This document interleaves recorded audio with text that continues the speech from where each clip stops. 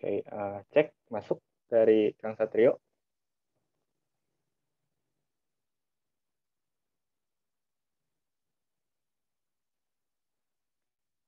Sebenarnya ada uh, sedikit gangguan sinyal ya, Kang Teteh. Hmm.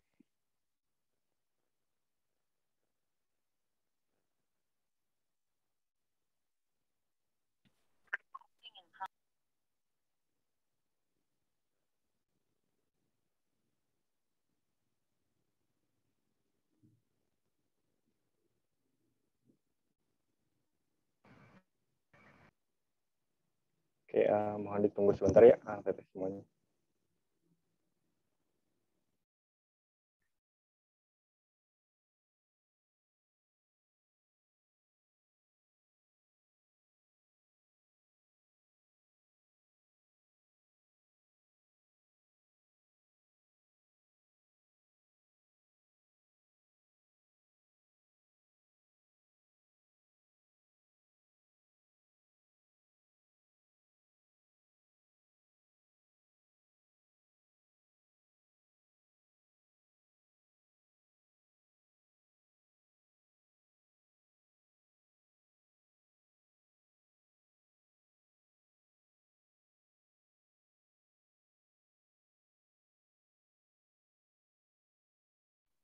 Oke, uh, gimana Kang Satrio sudah masuk?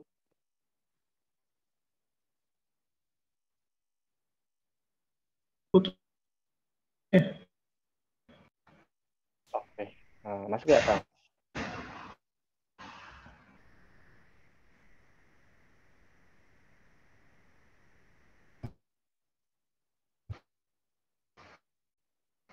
Tes tes, terdengar ya suara saya? Oke, udah masuk Kang. Uh, mangga untuk waktu presentasinya dipersilakan Kang.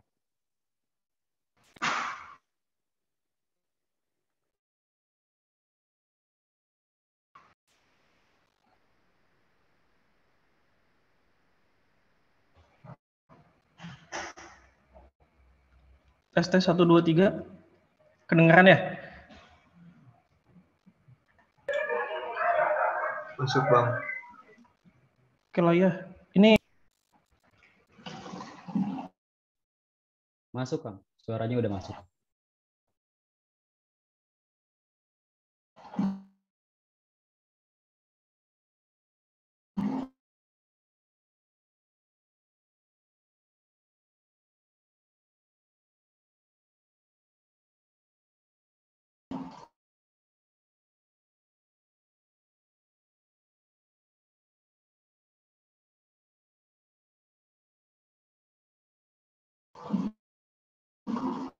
Sudah terdengar teman-teman?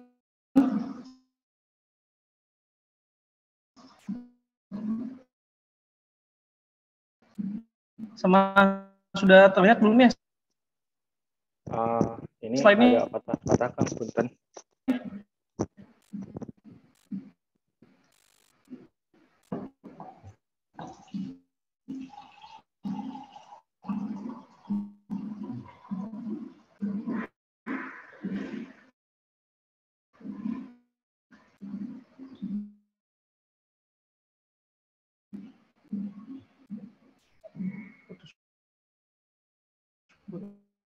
Terus ya, wait.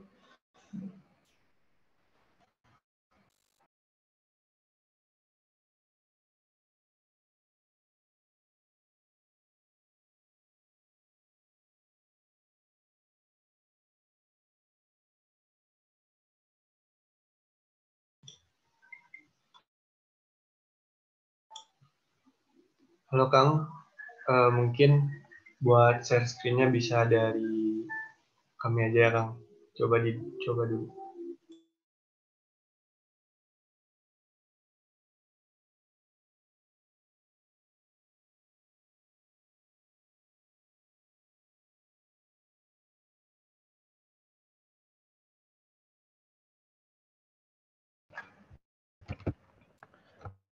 Halo, halo, terdengar kah? Ya Kang masuk tapi putus-putus.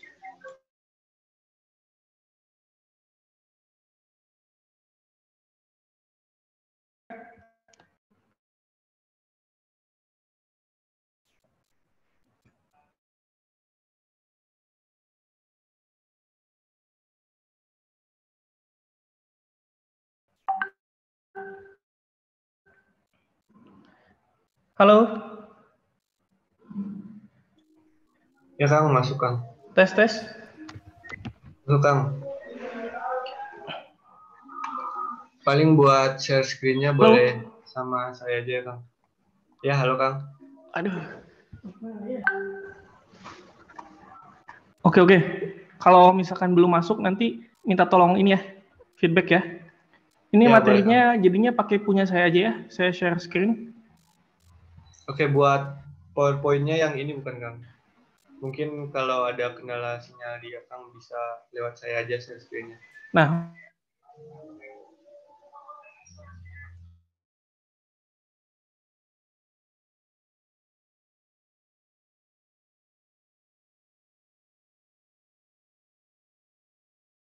udah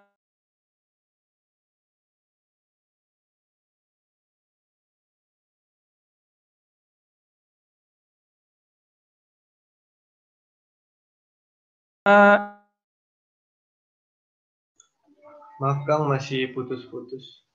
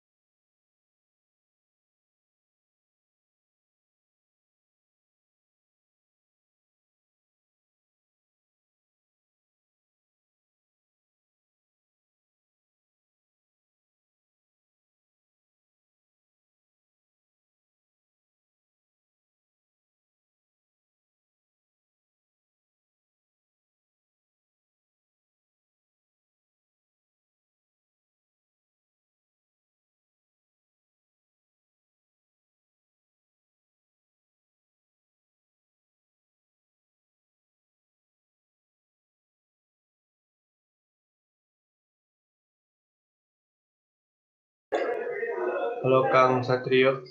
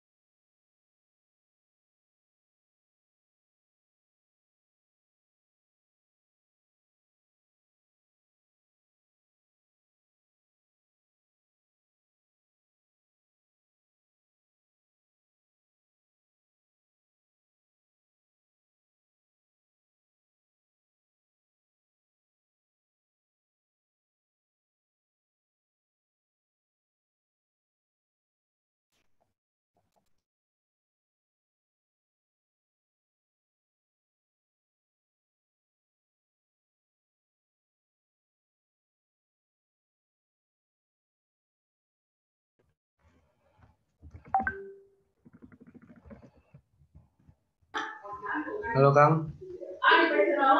halo, halo. Sudah ada ya? Ya udah ada sekarang Kang.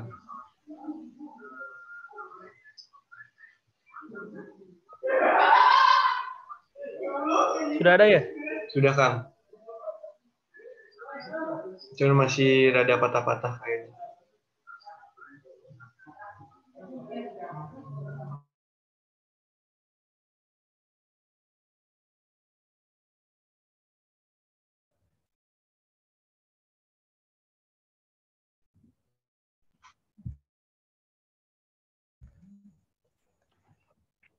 Oke, sebentar ya. Oke, sebentar ya. Saya ambil casan dulu nih.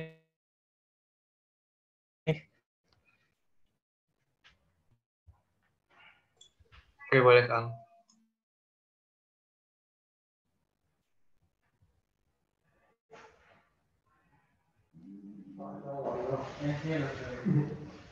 Ini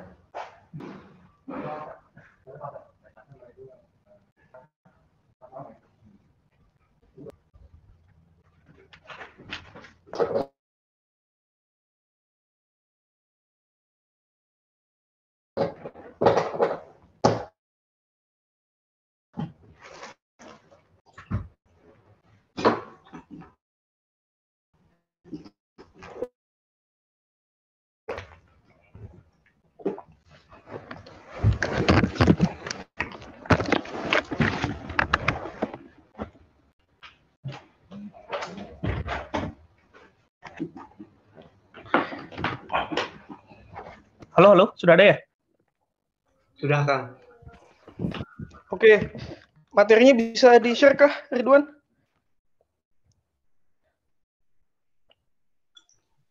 Buat materinya yang ini bukan Kang, yang sudah di share screen. Oh iya, Nah, ya, ini Itu baru tadi masuk saya update. ke WA saya kan, baru masuk materinya. Bentar ya. Oh iya, iya.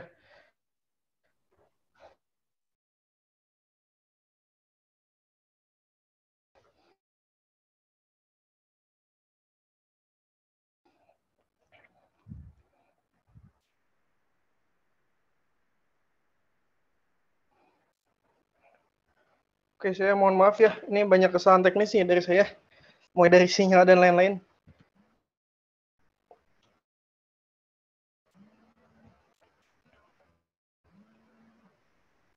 Ya, enggak apa kan. Ah, tapi udah aman kan sekarang? Ah. Ah. Yun na, magsusi ano? Pakai pa, pakai dulu na.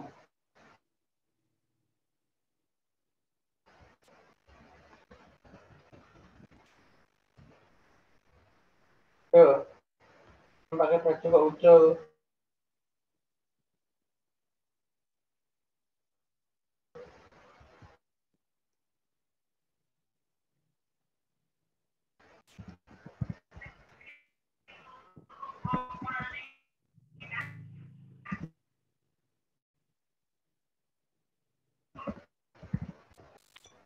Oke, udah kelihatan belum ya, Kang?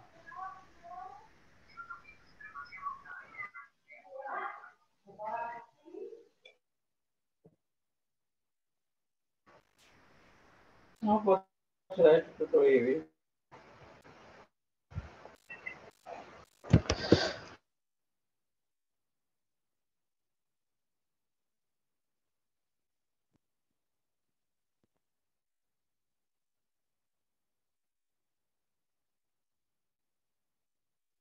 Oke. Eh, saya buka ya, teman-teman sekalian. Assalamualaikum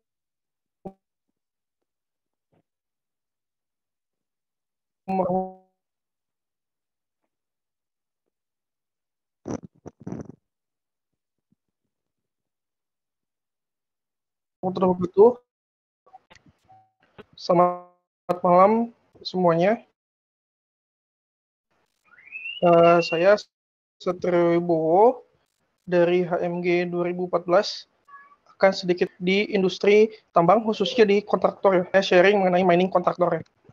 Bisa next? Halo, halo. Nah, oke. Jadi ya kurang lebih ini sedikit biografi dari saya yang sebelumnya mungkin sudah detail. Jadi sekarang saya posisi saya sebagai main geoteknik, cuman definisi expert ini hanya definisi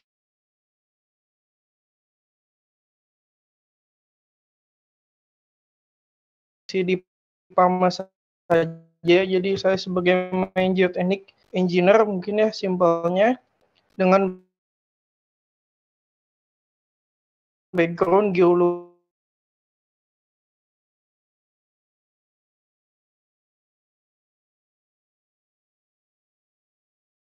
Geologi Unpad. Mana saya mengawali karir di Pamakideko di bulan 2000 dari bulan Maret 2021 saya pindah lalu kompetensi yang saya miliki ke XT. Bisa di next. Nah, jadi outline-nya kurang lebih seperti ini ya teman-teman. Dimulai dari geoteknik dan main geotechnical engineer, mining process, soft design process dan geotechnical process, fundamental of mine geotechnics, geotechnical data acquisition, geotechnical analysis, geotechnical monitoring, study case, dan Q&A. Oke, next.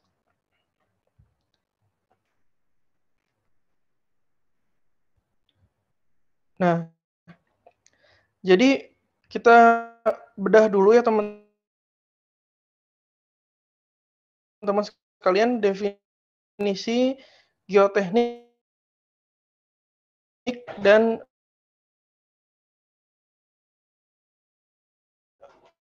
main geotechnical engineer. Jadi definisi geoteknik ya atau geotechnical engineering ini adalah cabang dari teknik sipil ini fokus terhadap material.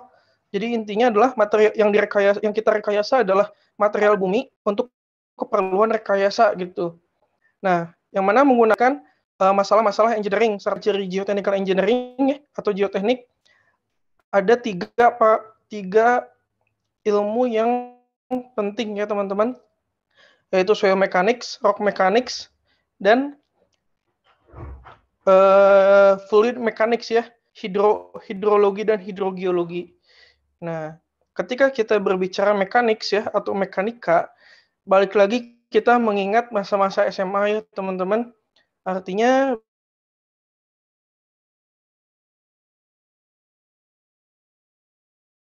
basic mekanika kita harus kuat dulu agar kita paham terkait mekanika tanah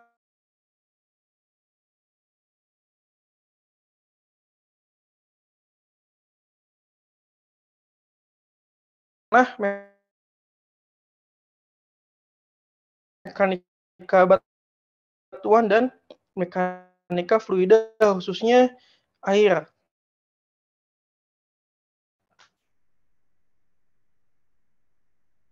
Nah, lalu apa sih main geoteknika engineer?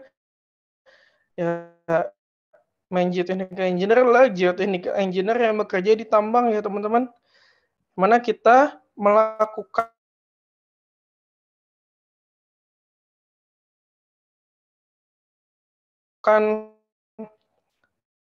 uh, tes geologi dan hidrogeologi untuk bisa mengimprove dari aspek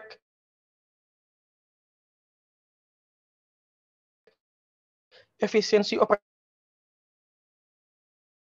operasional penambangan dan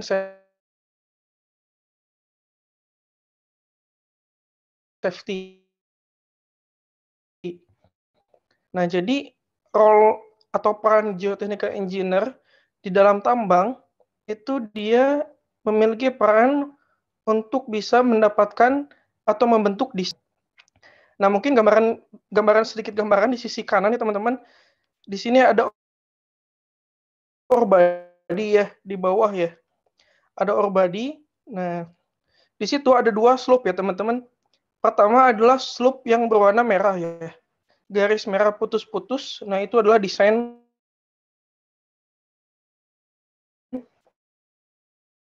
tambang awalnya ya teman-teman. Eh sorry, desain awalnya adalah garis hitam yang tegas ya, yang di atas current slope. Nah di situ dengan current slope itu kita di bawahnya deh, di area bawah kita punya ore body, biji ya, biji yang akan kita tambang. Nah dan di sini kita punya dua, dua desain itu teman-teman ada desain yang berwarna merah putus putus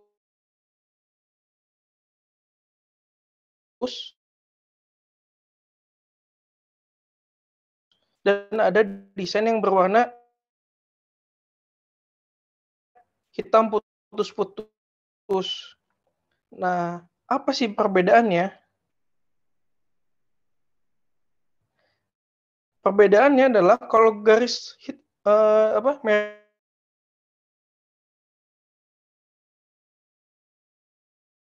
putus-putus dia ini lebih curam ya slope-nya. Lerengnya lebih curam. Kalau yang hitam putus-putus dia ini lebih landai ya. Kalau lebih landai. Nah, sekarang perbedaannya sih tentunya garis merah ini, garis merah putus-putus lebih menguntungkan ya. Kenapa? Karena banyak mendapatkan all recovery dibandingkan dengan garis hitam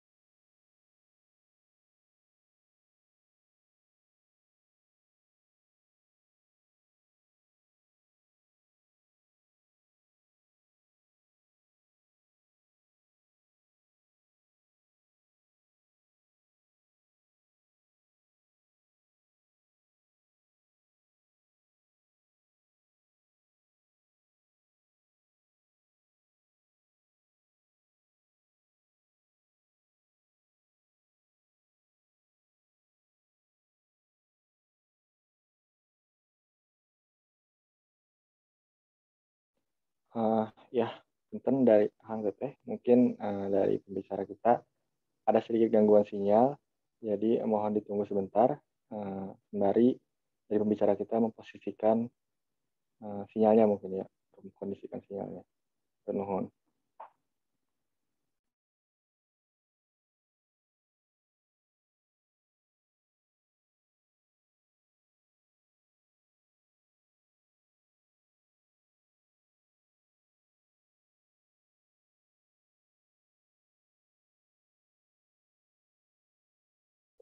Halo, adakah suara saya? Ya, udah masuk, Kang. Udah ya, sudah jelas ya. Oke, ini saya pakai HP ya, jadinya saya close dulu nih laptopnya. Oke, saya minta waktu dua menit ya, ambil casan. Oke, mangga, Kang. Ya.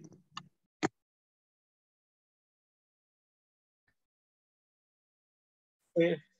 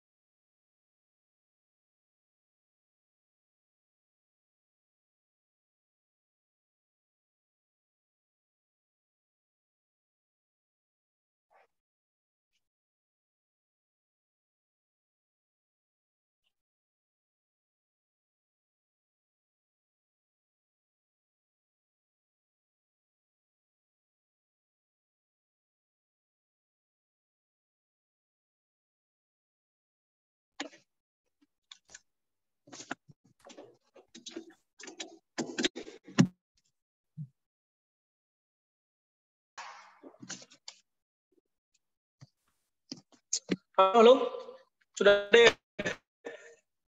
Oke, udah masuk kan? Aman kan suaranya? Gimana gimana? Udah aman Kang buat sinyalnya. Oke. Jadi balik lagi ya teman-teman. Intinya sih untuk geoteknik dan geoteknika engi- atau geoteknika engineering ini adalah cabang ilmu sipil ya teman-teman. ya. Yang ini yang kita harus garis bawahi, cabang ilmu sipil yang memang mempelajari material untuk keperluan engineering. Nah, materialnya ini apa? Ya soil, rocks, dan water ya. Yang mana ilmunya ini adalah soil mechanics, rock mechanics, dan eh, hidrologi dan hidrogeologi. Nah, fungsinya adalah geotechnical engineer di dalam tambang. Ini kita lihat ya teman-teman, lereng yang di sisi kanan. Jadi current slope itu adalah lereng aktual, yang mana garis hitam tegas ya. Nah, di sini sebagai main plan nih, dari main plan, mereka punya dua desain. Ada desain yang merah, putus-putus, dan ada desain yang berwarna hitam putus-putus. Nah, perbedaannya, kita lihat nih, perbedaannya adalah dari satu slope-nya, kemiringan lerengnya, dan yang kedua dari SR, stripping rasionya, perbandingan antara eh, OB dan, sorry, perbandingan antara west dan eh, OR. Nah, kalau kita lihat nih, yang berwarna merah itu SR. Kenapa? Karena satu westnya itu dia lebih sedikit dibandingkan dengan yang hitam putus-putus. Selain westnya kecil, dia ornya dapat lebih banyak karena dia lebih dalam. Nah, tapi yang berwarna hitam putih, nah itu satu ya. Terus yang kedua, yang hitam putus-putus, itu SR-nya pasti tinggi. Kenapa? Karena dia ngambil banyak west di atas ya, ngambil banyak west, dan dia ornya lebih sedikit. Nah, tapi perba- dari aspek safety, yang lebih aman itu ya jelas ya yang berwarna hitam putus-putus karena dia lebih lay. Nah, yang merah itu aman nggak? Ya bisa aman bisa enggak.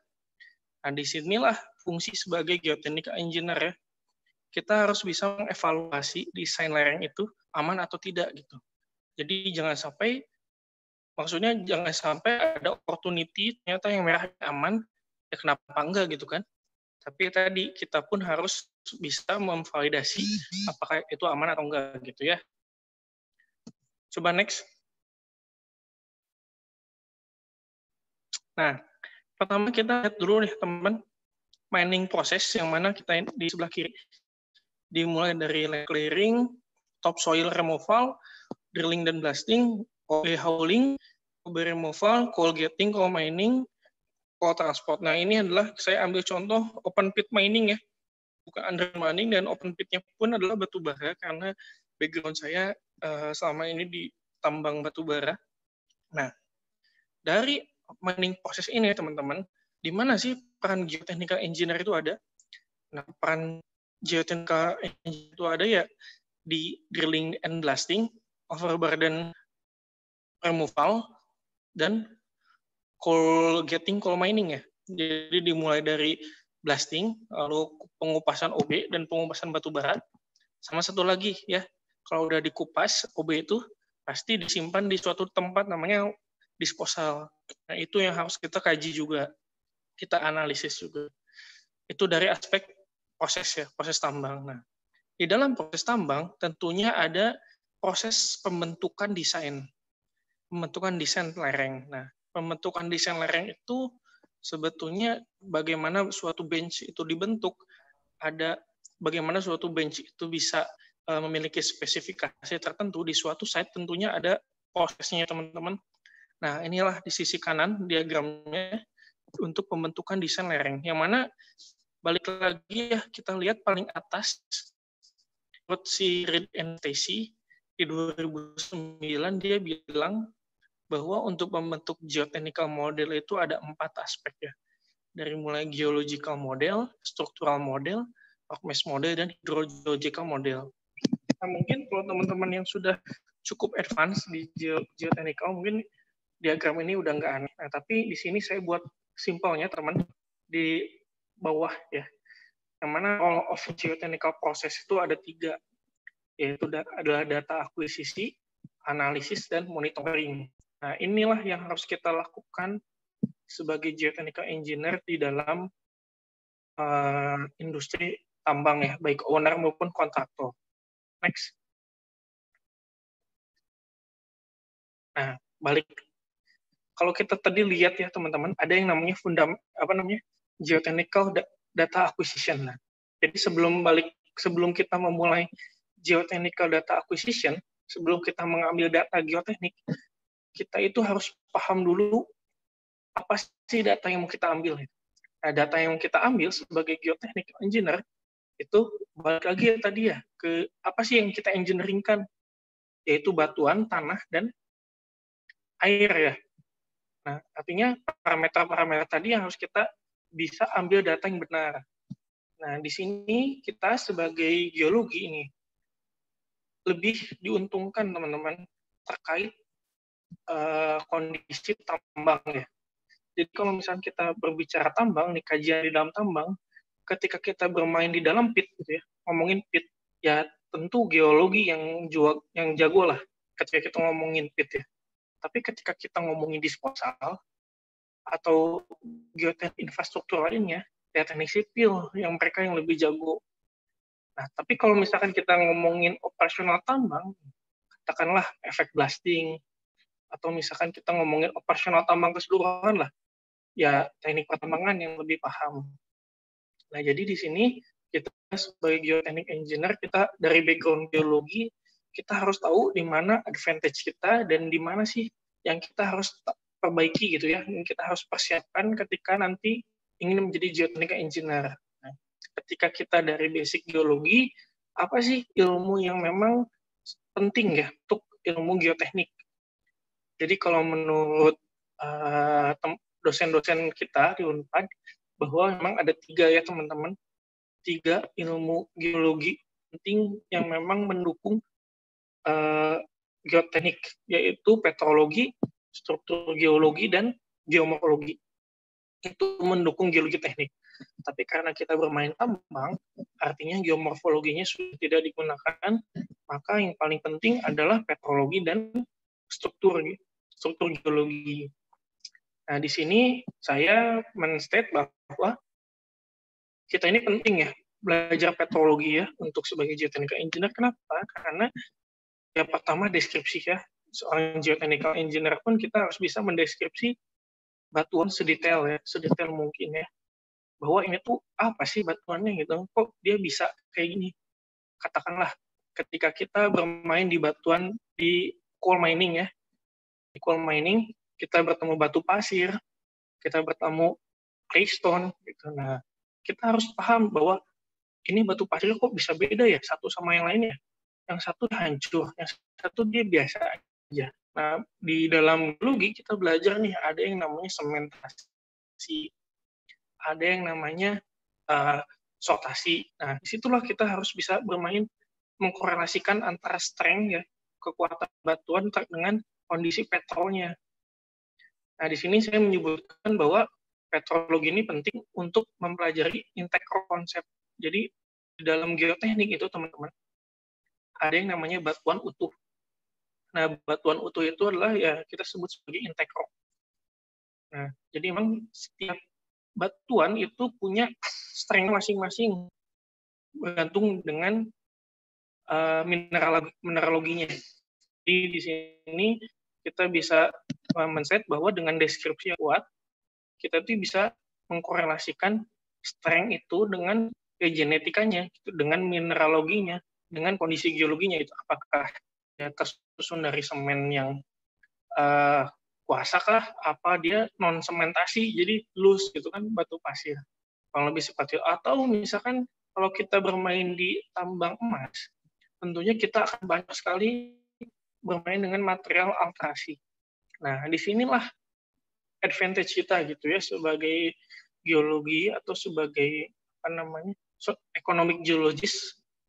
Dulu juga saya sangat menyenangi petrologi gitu ya. Dan ya alhamdulillah juga ternyata sangat berguna di dalam geoteknik. Jadi memang banyak sekali dengan uh, geoteknik. Coba dulu.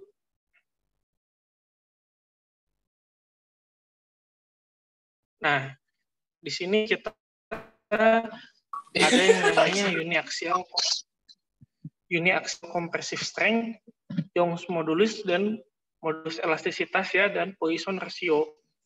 Nah, apa sih ini? Nah, ketiga parameter ini adalah ketiga parameter yang didapatkan dari kuat tekan. Jadi ujinya ini lebih seperti garis yang di bawah kecil itu ya, ada suatu sampel kita tekan dari satu arah ya, uniaksial kita sebut, yang mana dia ini tentunya perbedaan mineralogi, dia pasti memiliki strength yang berbeda. Semakin dia beku, batuan beku, ya jelas dia semakin kuat ya. Dan tentunya kalau kita bermain metamorf, adanya foliasi, nah kita tahu bisa juga apa namanya ada juga korelasi antara foliasi dengan strength-nya. Nah, maka dari itu kita penting juga mempelajari metrologi itu sebagai basic atau fondasi dari geoteknik. Nah, terus ketika kita sebagai geologi pun teman-teman jangan lupa kita pun sebagai geoteknik akan menjadi geoteknik ya kita harus bisa atau seimbang dengan orang-orang sipil yang mereka paham banget terkait hitungan dan sebagainya. Jadi ketika kita bisa membaca grafik yang di kanan, ya ya kita harus bisa gitu sebagai geoteknik engineer. Maksudnya apa sih grafik? Uh, eh, gitu. Bagaimana kita bisa mendapatkan nilai modulus elastisitas dari grafik GCS, Poisson ratio. Nah, itu nanti teman-teman bisa pelajari sendiri. Tapi intinya di sini saya mau menjelaskan bahwa petrologi ini penting untuk geoteknik ya, tentunya khususnya geoteknik tambang. Next. Nah, selanjutnya adalah struktur, geologi struktur, teman-teman. Jadi geologi struktur ini adalah penting untuk mempelajari discontinuities dan masa batuan. Nah, apa sih definisi discontinuities dan masa batuan? Jadi discontinuities itu adalah suatu bidang bidang ya, yang mana bidang itu bisa menyebabkan kelongsoran. Nah, kalau kita lihat nih dari tipe-tipe longsor yang ada di kanan, ada empat tipe longsor ya teman-teman. Sirkular, panar, wedges, baji, dan toppling. Nah itu, nah tiga yang di bawah itu dikontrol oleh geologi struktur. Yang atas itu di, bisa dikontrol oleh geologi struktur atau bisa pada tanah. Nah, bagaimana sih cara mengidentifikasi apa namanya mengidentifikasi tipikal kelongsoran oleh struktur ini? Ya kalau kalian lihat nih teman-teman di sisi kanannya ada lingkaran-lingkaran ya. Orang geologi mungkin udah gak aneh ngelihat ini. Nah, sinilah tools kita ya untuk bisa mendeterminasi ini tuh tipikal longsornya apa sih. Nah, dari, dari situ, jadi data kekal data sesar, nanti kita bisa plot bahwa oh ternyata ini potensi longsorannya adalah planar baji. Nah mungkin nanti ada analisa lebih lanjut ya. Kita sebut sebagai analisis kinematik. Coba next.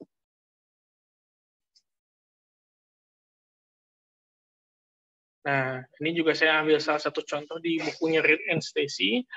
Jadi di buku Reed and Stacy di tambang Mata ya, yang mana dia membagi tambangnya ini berdasarkan beberapa kelas atau beberapa segmen ya, segmen berdasarkan struktur biologinya. Kalau kita lihat nih peta strukturnya, nah, dan lihat dan kalau teman-teman lihat juga bahwa peta bahwa untuk mendeterminasi strukturnya itu berdasarkan uh, apa namanya stereonet juga gitu. Jadi memang ya struktur geologi pun harus teman-teman kuasai jika memang uh, tertarik untuk di geoteknik ya teman-teman. Main geoteknik khususnya. Next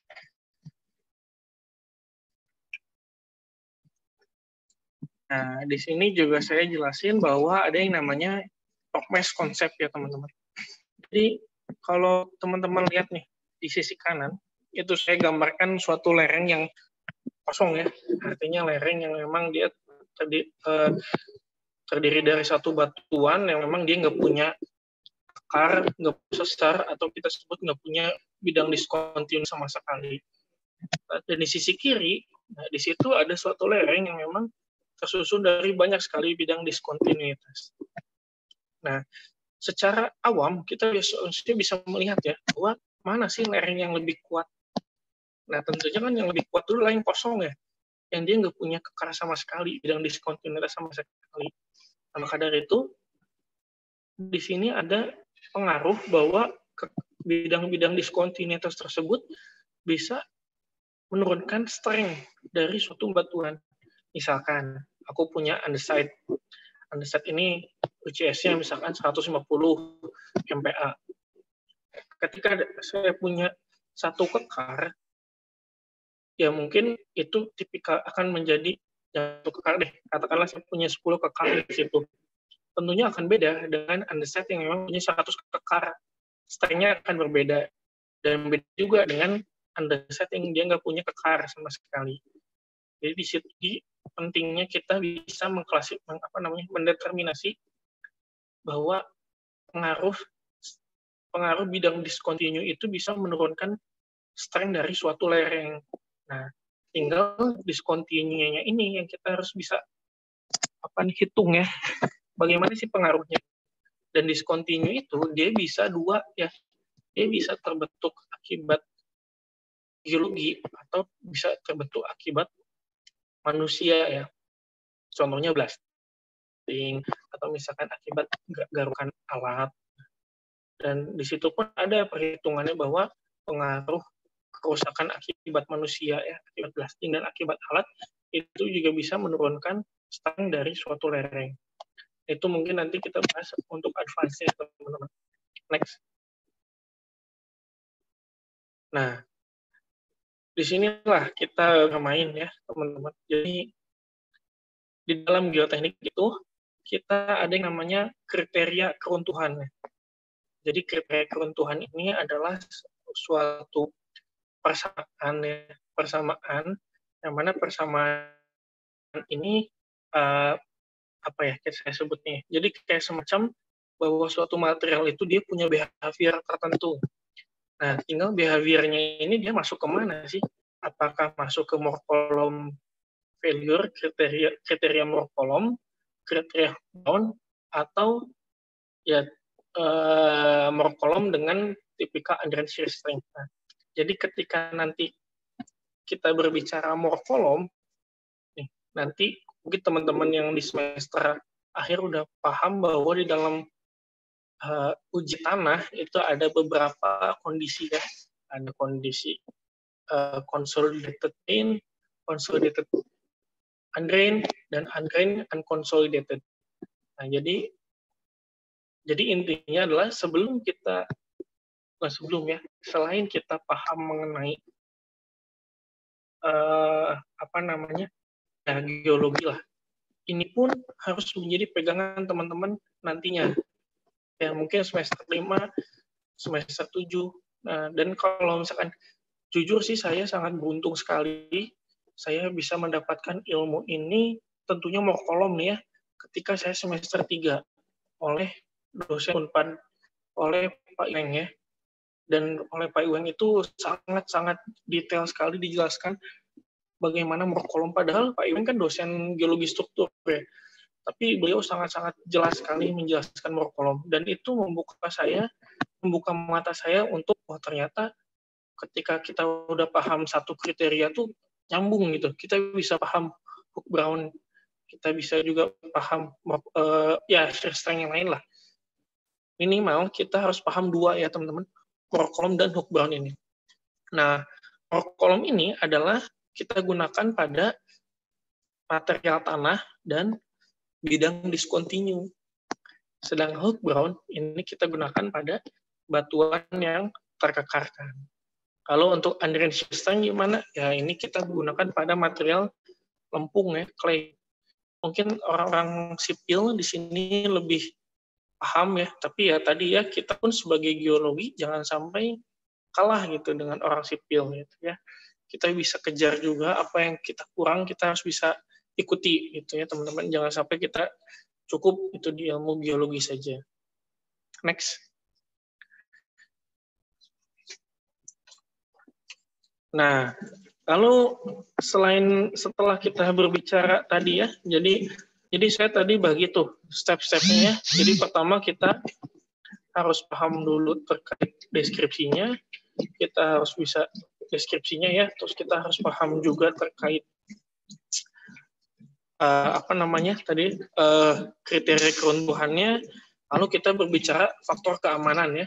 Nah, ketika kita berbicara faktor keamanan, nah di sini pun kita harus bisa menghitung ya teman-teman dari persamaan bagaimana sih cara menghitung faktor faktor keamanan lereng. Nah, kalau simpelnya adalah faktor keamanan lereng ini adalah kalau kita lihat nih ya, F sama Fs ya sama dengan tau per S atau gaya tahan dibagi dengan gaya dorong. Jadi gaya tahan ya, gaya penahan dibagi dengan gaya dorong. Ya dia akan aman kalau misalkan sebetulnya kalau secara teori harusnya itu adalah satu ya teman-teman. Karena kan kalau kita tahan nih, tahannya akan sama dengan dorong, berarti kan ya dia diam kan, stabil kan. Harusnya sih satu, tapi karena ilmu geoteknik ini berbeda dengan ilmu apa namanya mesin lah ya yang memang presisi. Dan karena yang kita engineeringkan ini adalah alam maka dari itu kita tidak bisa 100% yakin ya terkait terhadap data akuisisi kita. Meskipun data yang kita sudah akuisisi benar. Maka dari itu kita maka dari itu peneliti-peneliti memberikan range ya, memberikan range bahwa ya di atas 1.2 atau 1.25 atau 1.3 yang disebut sebagai lereng aman. Jadi gaya dorongnya, gaya tahannya itu 1,3 kali dibanding gaya dorong. Itu yang disebut aman. Nah, ini kalau kita berbicara bowless, berikut ini ya apa eh, thresholdnya yang mana di atas 1.25 itu aman dan di bawah 1.25 itu tidak aman ya. Next. Nah, jadi itu ya fundamentalnya ya tadi. Lalu kita berbicara soil uh, untuk soil sampling. Sebetulnya di tambang ini sangat jarang sekali ya teman-teman untuk CPT, tapi di tambang ini lebih sering untuk melakukan SPT ya teman-teman. Jadi SPT ini biasa dilakukan di tambang yang mana SPT ya, bukan CPT ya. Jadi SPT itu semacam alat yang memang dia eh, apa namanya dia punya hammer ya, punya hammer dan dia nanti dipukul oleh suatu uh, ya hammer dipukul oleh suatu hammer di mana nanti perhitungannya adalah N1, N2, N3 mungkin nanti teman-teman bisa cek ya bahwa intinya untuk untuk SPT ini biasa kita gunakan untuk menghitung uh, tipikal soil ya teman-teman. Soil dan so, ya soil lah soil lah ya bukan batuan soil soilnya itu apa saja yang satu kita bisa uh, untuk fondasi ya jadi maksudnya fondasi adalah contoh ketika kita mau ada rencana untuk uh, membuat disposal waste dump. Tentunya base-nya ini kita harus SPT dulu. Seberapa dalam soilnya ini jangan-jangan soilnya tebal gitu. Karena bisa jadi yang bikin longsor itu adalah si base dari disposalnya itu sendiri gitu. Kita sebut sebagai foundation failure ya. Atau base-nya ini adalah lumpur. Nah, kita harus cek harus cek nih si strength-nya lumpur ini berapa ya pakai SPT gitu. Nah, jadi selain analisis base dari Westdam, Westdam itu sendiri juga bisa pakai kita pakai SPT ya untuk menentukan properti atau menentukan nilai uh, kohesi dan strength-nya. Coba sebelum uh, back dulu teman-teman. Nah, jadi kalau kita berbicara nilai FK nih teman-teman, mungkin di sini ya nanti mungkin teman-teman bisa cek ya uh, detailnya bagaimana sih cara menghitung FK nilai faktor keamanan. Tapi intinya kita sebagai geotechnical engineer inilah nilai yang kita keluarkan ketika kita mendeterminasi lereng desain itu aman atau tidak. Nah, yang mana faktor utama ya di dalam lereng itu selain geometri ada strength ya, kekuatan dari suatu material. Nah, kekuatan dari material itu ya ketika kita menggunakan kriteria kolom maka ada dua properti ya, ada dua bukan properti ya, dua parameter yang bisa yang yang harus diinput ya, yang harus dimasukkan ke dalam persamaan, yaitu kohesi dan sudut gesek dalam ya, C dan V ya. Untuk unit weight itu berat jenis ya, bobot isi. Nah, bobot isi ini ya didapatkan dari pengujian bobot isi ya. Tapi kalau kohesi dan sudut gesek dalam itu didapatkan dari uji mekanika yaitu direct shear ya. Direct shear atau triaxial itu bisa. Next.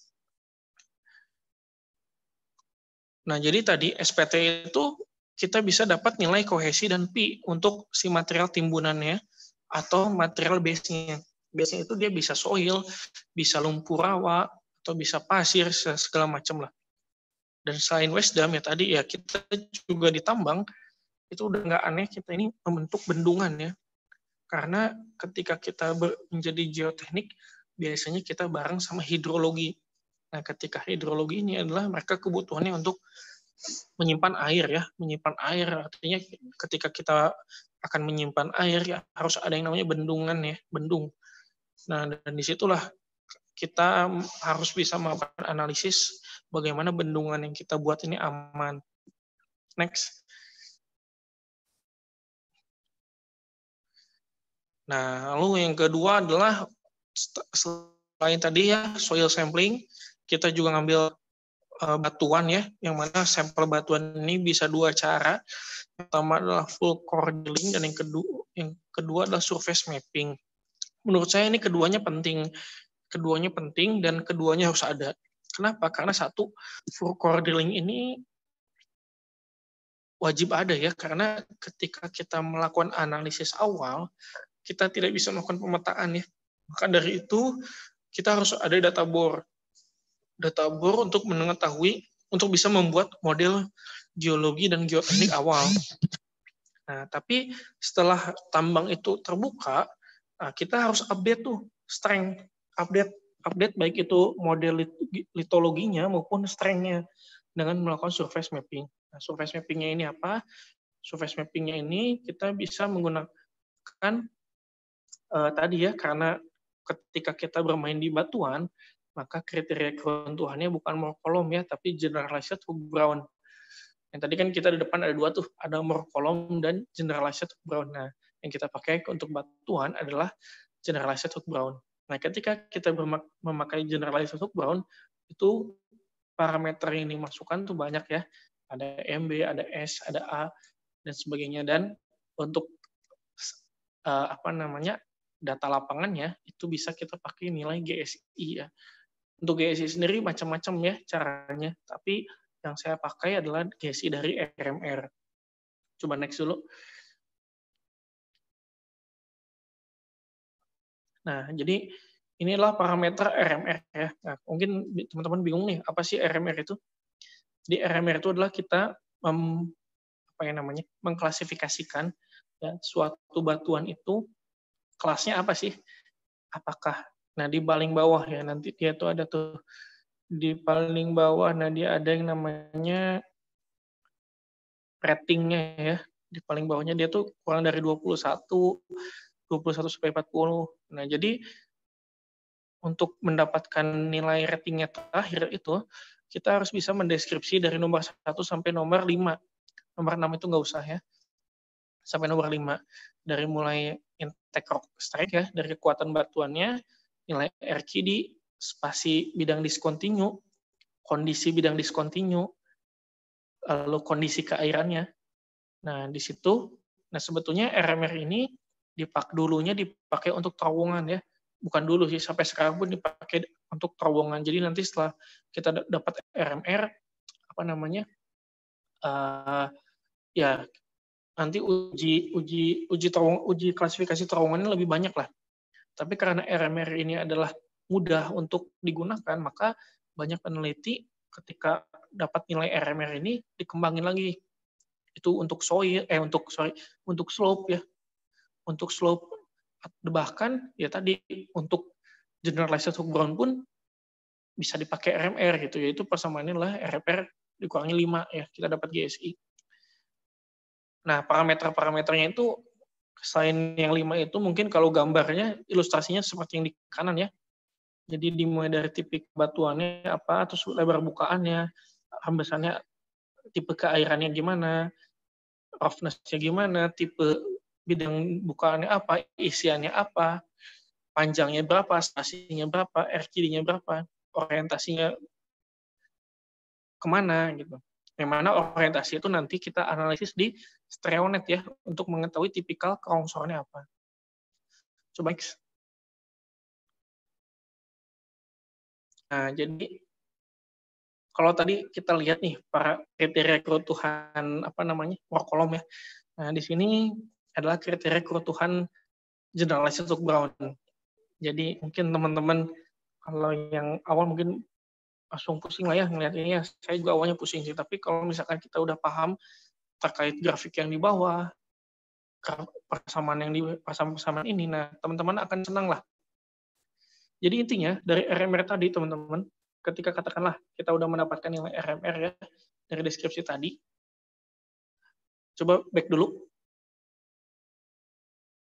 Nah, kalau misalkan teman-teman nih, gimana sih cara ngitung RMR? Ya, kita hitung aja sama misalkan saya punya batuan andesit andesit ya atau janganlah uh, granit lah ya granit.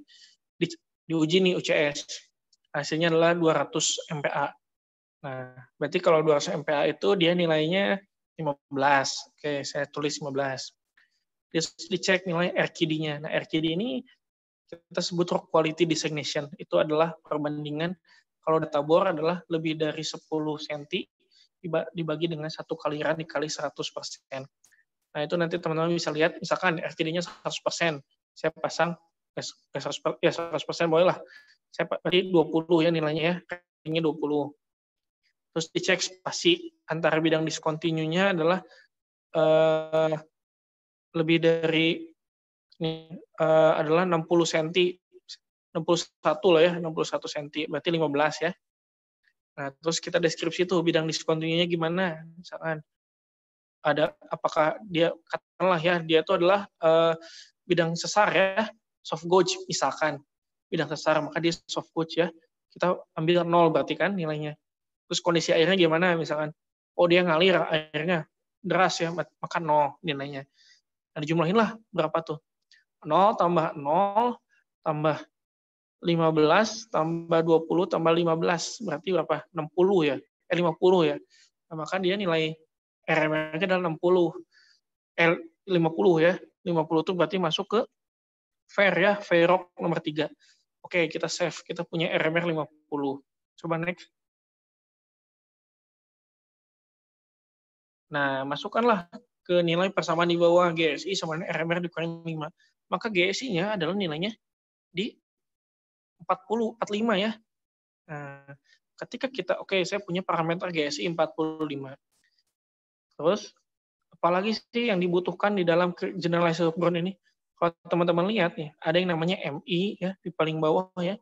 Terus ada GSI, ada D. D ini adalah disturbance faktor faktor eh, apa namanya kerusakan ya akibat manusia tadi itu bisa blastingnya ya itu bisa karena blasting atau garukan materi garukan ini alat ya. Ini adalah tabelnya di sisi yang paling tengah. Itu blastingnya pun beda-beda. Blastingnya apakah blastingnya itu sangat ngancurin bat, hancurkan batuannya atau blastingnya bisa smooth gitu ya. Dan itu beda. Gitu. Nah, D itu nilainya dari 0 sampai 1. Contoh nih, kalau kalian lihat yang di paling bawah, itu akibat garukan material, eh, akibat garukan alat berat, maka disturbance faktornya adalah 0.7. Nah, berarti saya udah punya nilai disturbance faktor 0.7 D, GSI-nya 45. Nah, tinggal masukin MI. MI itu adalah konstanta batuan ya untuk uh, triaksial ya. Nanti ada listnya. Sandstone itu 17, Kelistone itu 4, Siltstone itu 8. Nanti uh, bisa dimasukin tuh. Berarti kan kita dapat tuh nilai MB-nya berapa, S-nya berapa, A-nya berapa. Karena tadi kita udah punya nilai MI, GSI, dan D. Nah, di situlah setelah itu kita baru bisa mendapatkan nilai kohesi dan V konversi untuk batuan. Karena nilai kohesi dan V itu sebetulnya untuk tanah. Tapi di sini si Hook Brown membuat konversi agar bisa dapat nilai kohesi dan pi untuk batuan untuk analisis kestabilan lereng. Coba next. Nah, mungkin kurang lebih gitu ya untuk ini ya. Lalu selanjutnya ini untuk laboratorium tes. Jadi di sini ada UCS ya teman-teman. Oh, ada UCS yang mana dia diuji satu kal satu arah ya. Oh, untuk triaksial ini dia diujinya tiga arah ya. Ada ya tiga arah. Enggak, ya dari tiga arah ya. Oh, UCS ini kita dapat nilai untuk uh, ya nilai strength-nya ya UCS. Kalau triaxial test ini kita bisa dapatkan nilai kohesi dan ya. Lalu direct shear juga ada yang mana dia digeser ya. Jadi dia uh, berbeda dengan triaxial. Kalau triaxial kan tiga arah. Nah kalau direct ini dua arah ya. Mulai dari gaya normal, tegak lurus, dan gaya geser ya. Nanti tesnya untuk apa nanti baca dibaca oleh teman-teman next. Nah, ini untuk data akuisisi mungkin ini yang terakhir. Jadi kalau teman-teman bisa resume tadi ya. Pertama kan kita udah tahu material ya. Material setelah kita bisa nah material itu kita bermain apa coba? Material itu kita bermain litologi dan struktur ya. Setelah itu kita bermain ke strength-nya. Kita mengetahui strength materialnya. Setelah kita mengetahui strength dari material, kita harus tahu kondisi air ya kondisi air di lereng kita. Nah ini contoh pengujiannya yang di sebelah kiri yang mana strength-nya itu kita bisa eh sorry air itu kita cek elevasinya ya ada di elevasi berapa sih? Nah, kalau misalkan kita lihat nih yang di tengah bawah itu kan ada dua sumur ya. Kalau kita bisa tahu titik elevasi airnya ya kita bisa korelasi ya sehingga kita bisa menggambarkan boundary dari airnya. Nah, kalau misalkan kita bisa menggambarkan boundary-nya, artinya kita bisa akan melakukan analisis terkait kestabilan lerengnya ya. Jadi kita bisa mendapatkan boundary air aktual dan kita running, katakanlah uh, kondisinya nggak aman ya, FK-nya nggak aman. Nah, maka ya kita bisa apa namanya uh, bisa turun bisa ya bisa turunkan lah bisa turunkan elevasi bukan ya elevasi airnya dengan cara ya ini horizontal drain ya kayak dibuat semacam apa namanya uh, saluran air ditusuk uh, biar airnya itu dia nggak nggak nggak saturated di area surface. Atau bisa juga dipompa. Jadi nanti dari atas di dibor dan di, dipompa dikeluarin airnya biar groundwater levelnya turun. Itu untuk air. Terus yang kedua yang terakhir adalah uh, getaran blasting ya. Jadi ini getaran blasting ini kita fungsinya untuk nanti advance-nya adalah menentukan korelasi konstanta blasting konstanta blasting anti material tersebut. Tapi ya intinya ini adalah bahwa nanti kita bisa bisa bisa nginfoin bahwa oke okay, lereng kita ini aman di getaran blasting sekian. Nah, nanti dari tim blasting yang akan mengecek apakah mereka bisa nggak uh, ngebuat apa blasting pattern-nya itu dengan bisa sesuai dengan spek lereng kita. Gitu. Kita monitor dengan pengujian alat kayak gini.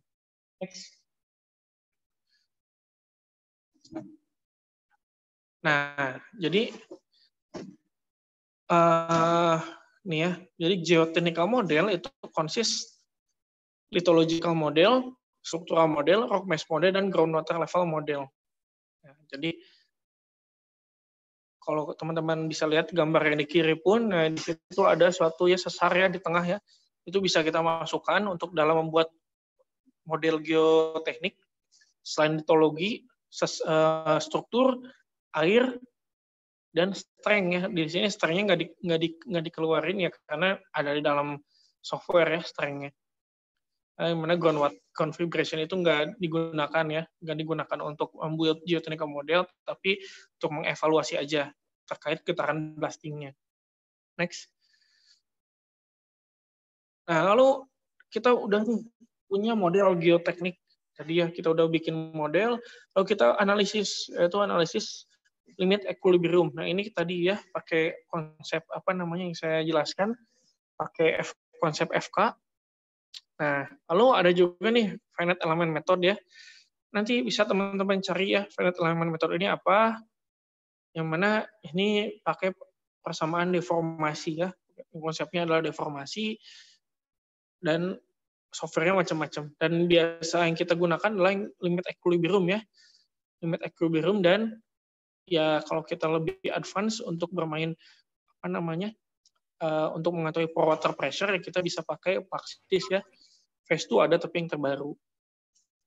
Lalu untuk analisis kinematik tadi ya yang saya sebutkan bahwa ada potensi tipikal apa saja sih tipikal kelongsoran itu. Nah, dari kekar-kekar kita bisa analisis kinematik.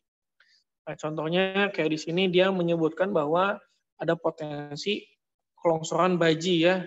Nah, bagaimana sih cara menghitung atau cara membacanya potensi kelongsoran baji? Nah, nanti teman-teman pelajari aja ya bahwa namanya adalah analisis kinematika. Banyak sekali ya di dalam tambang itu melakukan analisis kinematika. Next. Nah, lanjut ke monitoring nih, teman-teman. Jadi tadi kan kita udah belajar nih, mau belajar sharing lah ya, terkait data akuisisi, analisis. Yang terakhir adalah monitoring. Jadi setelah kita memberikan rekomendasi, hmm, kita memberikan rekomendasi, oke, okay, ini aman, Pak. Nah, tapi ya kita juga jangan terima dengan udah selesai enggak, kita juga masih ada job kita itu memonitor pergerakan lereng. Salah satunya adalah ekstensometer kayak gini ya teman-teman. Jadi kalau kita lihat nih ilustrasinya di bawah, jadi kayak ada semacam uh, stick, stick yang mana dia nanti ditarik ke ekstensometer. Nah, ekstensometer itu nanti di set ya. Katakanlah thresholdnya adalah 10 cm.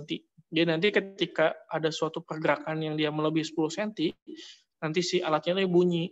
Nah, dan nanti biasanya ketika bunyi itu stop aktivitas. Geotek harus ngecek.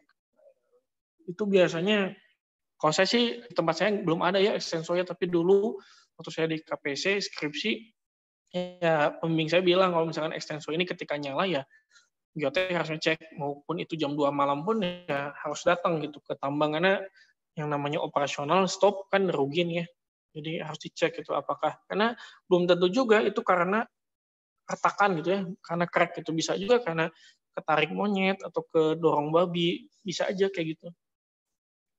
Nah, gambarnya kayak di bawah sini ya, yang mana dia bergerak dari ada yang namanya strain ya, yaitu pergerakan dan berdasarkan waktu ya di bawah nih waktu. Nanti kita bisa hitung nih kalau gradiennya itu adalah velocity-nya dia. Velocity adalah bukan gradien, ya garis miringnya lah ya. Uh, apa? Y per z y per per x-nya dulu lah velocity-nya dia. Threshold kecepatannya berapa mili sih per jam? Nah kurang lebih kayak gitu. Next. Lalu selain tadi yang selain extenso ada yang namanya robotic total station ya. Jadi robotic total station ini adalah semacam ada dua nih komponennya. Yang pertama adalah prisma prisma itu semacam target ya targetnya. Dia bentuknya kayak lingkaran ada kacanya gitu. Terus ada alatnya nih uh, alatnya ini yang biasa dipakai mirip lah ya kayak total station ini pakai survei. Nah nanti kita set nih kita pasang dulu deh target-targetnya di mana yang dianggap perlu dimonitor lalu kita nanti set. Dan nanti dia nembak sendiri ke targetnya. Nanti ditembak sendiri ke targetnya Nah, nanti kita bisa baca pergerakannya. Kayak di bawah ini ya, pergerakannya dia relatif stable ya, lurus yang kuning. Gitu teman-teman. Next. Nah, kalau ini versi yang canggih. Jadi kalau tadi robotic total station itu kita harus pasang target. Nah, kalau radar ini nggak usah pakai target ya. Jadi scan areanya itu dianggap ya udah semuanya itu adalah targetnya gitu. Jadi kalau misalnya teman-teman lihat nih di gambar kanan atas, nah itu kan ada satu kotak persegi panjang udah sepanjang itu adalah targetnya dia pixel-pixel semua itu adalah targetnya dia gitu. Nah, terus kalau kita lihat nih ada pixel yang beberapa beberapa warna kan merah, biru, me, uh, ungu, hijau, kuning. Nah, itu grafiknya tuh yang di bawah teman-teman. Grafiknya yang di bawah di mana dia ya biasa ya defaultnya adalah uh, y-nya adalah strain ya pergerakan atau deformasi, x-nya adalah uh, waktu ya. Jadi di, ketika dia sebelum longsor nih, failure itu longsor ya. Dia itu ada fase-fasenya dulu, fase linear. dia kecepatannya uh, apa namanya dia awalnya nggak nggak kenapa-napa terus dia bergerak naik kecepatannya dengan kecepatan uh, stabil ya jadi kecepatan tetap dia nggak ada mengalami percepatan dia fase linear. Nah sebelum setelah dia linear sebelum dia longsor dia progresif dulu. Progresif itu adalah fase di mana dia mengalami percepatan. Setelah percepatan dan radar sudah tidak bisa membaca percepatannya maka grafiknya itu ya kayak naik turun naik turun gitu. Failure ambigu ya kita sebutnya. Nah ambigu itu adalah fase longsornya dia kan di mana radar udah nggak bisa baca percepat karena saking cepatnya dia gerak jadi dia kayak gitu radar membacanya dan fase regresif turun ya flat lagi dia. Nah ketika fase regresif ini nah geotech engineer nih selain kita apa namanya ya bisa melakukan analisa itu ya akuisisi data kita juga harus bisa kayak gini teman-teman. Harus bisa analisa data monitoring apalagi radar. Jadi jangan sampai ketika kita progresif baru bilang baru bilang evakuasi gitu jadi kita tuh harusnya ketika fase linear nih kita harus sudah cek kita harus sudah cek oh ini area yang potensi terdampak adalah ini ini ini selebar ini oke. Okay. udah ketika nanti progresif kita bilang evakuasi kita tahu evakuasinya ke mana sih yang aman. Gitu. Dan nanti setelah longsor setelah regresif kita cek dulu ke lapangan. Bener nggak? Udah turun. Oh ternyata udah turun udah jatuh terus dari radar udah regresif oke okay, geotech engineer memperbolehkan alat masuk lagi. Kayak gitu ya teman-teman. Next. Nah ini juga contoh untuk monitoring ya. Jadi kita ini di lapangan juga apa namanya ngecek inspeksi ya ngecek inspeksi apakah ada retakan atau enggak. Kita melakukan ya inspeksi lah. Intinya geoteknik engineer itu bukan selesai untuk ambil data analisa udah aja. Tapi kita juga tadi kita harus pasang alat monitoring kita harus ngecek apakah di lapangan itu sesuai dengan kajian kita gitu. Kalau enggak ya kita harus feedback. Kalau misalkan kita bilang harusnya di situ ada band selebar tapi malah dibikin single ya kita feedback gitu. Kalau memang itu membahayakan malah jadi longsor ya kita mau harus stop gitu. Stop stop. Pindah dulu kita kaji dulu gitu kan nah, selain inspeksi ya kita juga harus memberikan guidance ke teman-teman safety. Jalur evakuasi. Yang mana sih yang aman itu? Karena ya tadi geotek juga ya. Geotek juga yang tahu mana yang aman mana yang bahaya. Jadi kita memberikan guidance di mana sih titik evakuasinya dan di mana jalur evakuasinya. Dan setelah kita guidance itu ya udah nanti prosedur detailnya safety yang buat. Tapi kita mengguidance bahwa jalurnya yang mana yang aman dan mana yang potensi bahaya dan mana yang gak boleh dilalui gitu ya. Next. Nah jadi ini saya sedikit ya tes tadi bahwa kita ini ada suatu ya suatu project ya project yang mana datanya ini kalau kita lihat nih data yang sisi kanan ini dia nggak ada data geoteknik sama sekali ya nggak ada data geoteknik sama sekali nggak ada data bor tapi kita disuruh untuk melakukan penambangan di situ nah jadi di sinilah geotechnical engineer ya ilmu akuisisi data kita digunakan ya. Jadi kita melakukan nggak ada pemboran, kita lakukan surface mapping. Next. Nah, jadi kayak kita lakuin mapping ya. Kalau mungkin teman-teman semester 4 udah pernah lakuin ini ya, namanya measure section ya.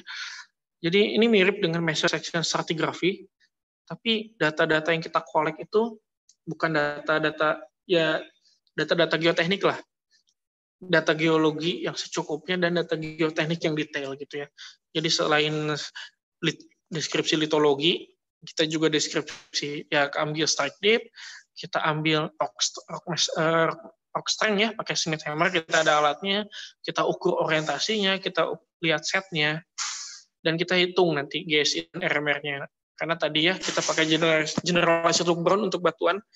Next.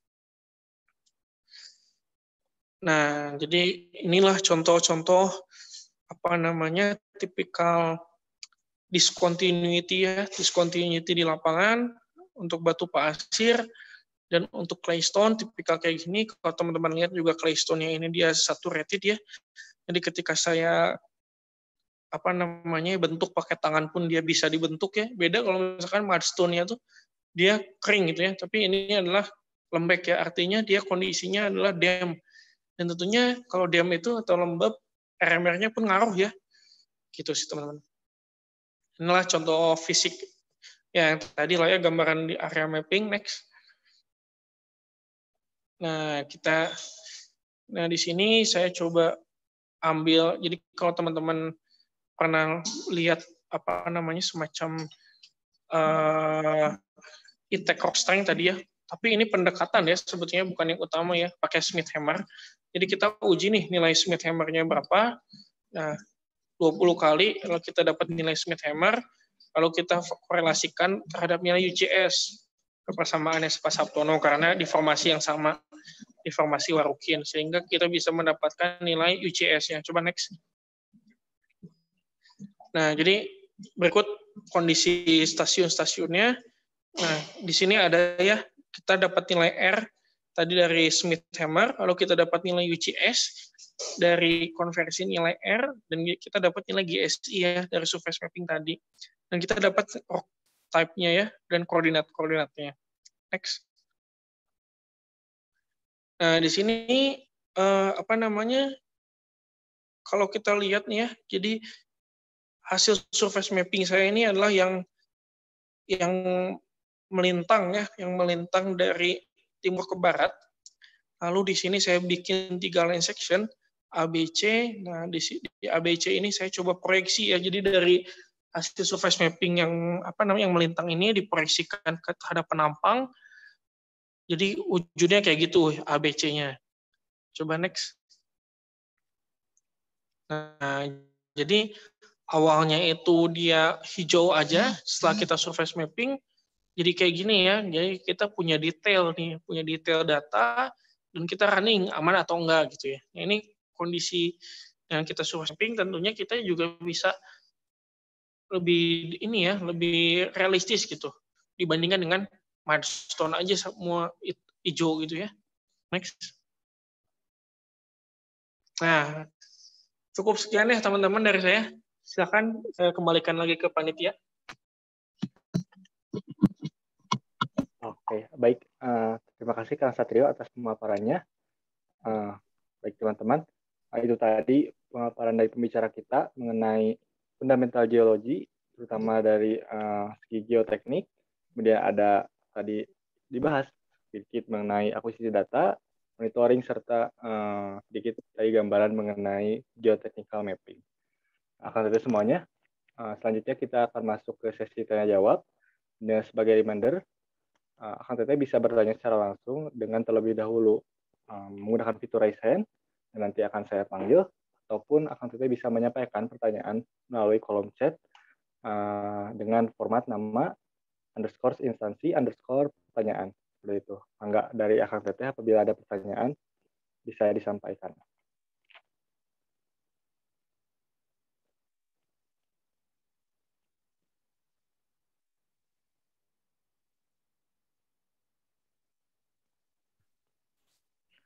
Punten, Ridwan boleh izin bertanya? Oke, mangga dari Kang Puji. Oke, uh, selamat malam untuk uh, Kang Satrio. Perkenalkan saya Aldi dari SIG, Kang. Mau tanya untuk pembuatan wisdom itu berarti diperhitungkan juga oleh geotek engineer ya, Kang? Lalu untuk pembuatannya itu apakah ada aturannya gitu, Kang? Misalkan jaraknya harus berapa meter dari lubang mukaan seperti itu, Kang. Terima kasih.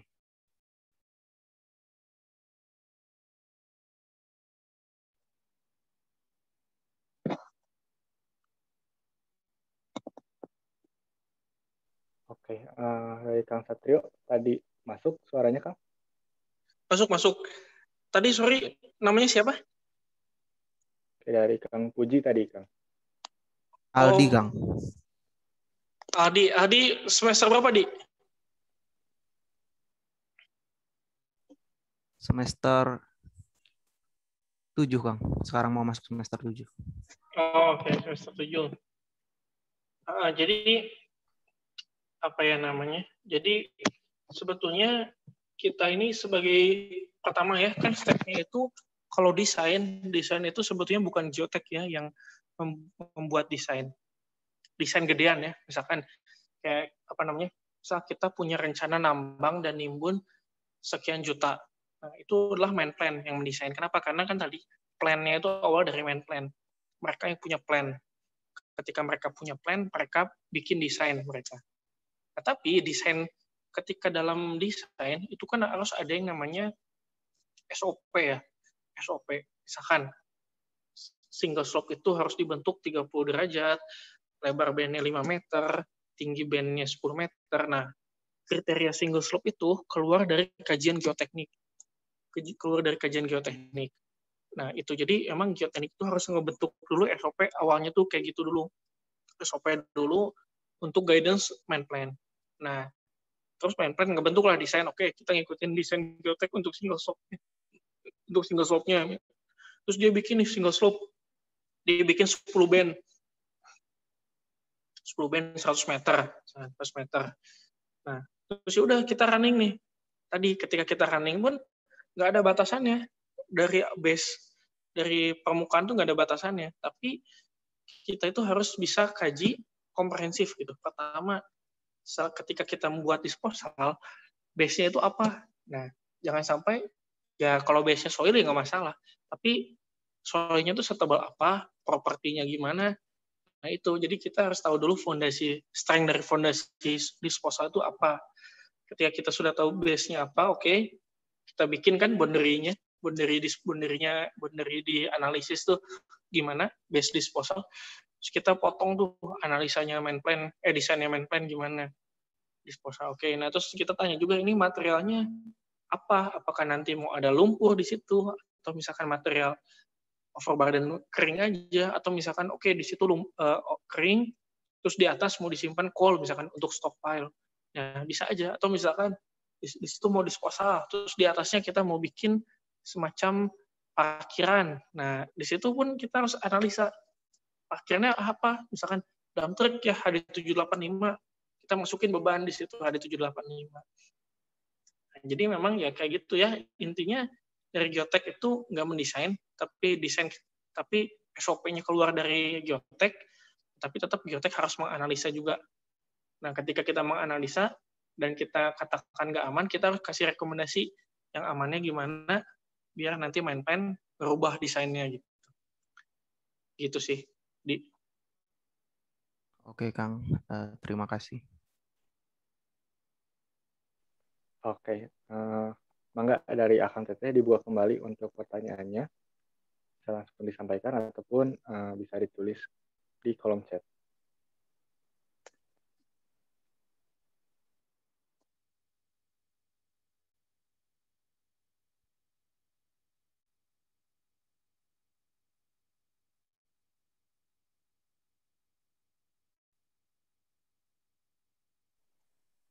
Oke, ini udah ada pertanyaan Kang dari Kang Hajrol dari Undip.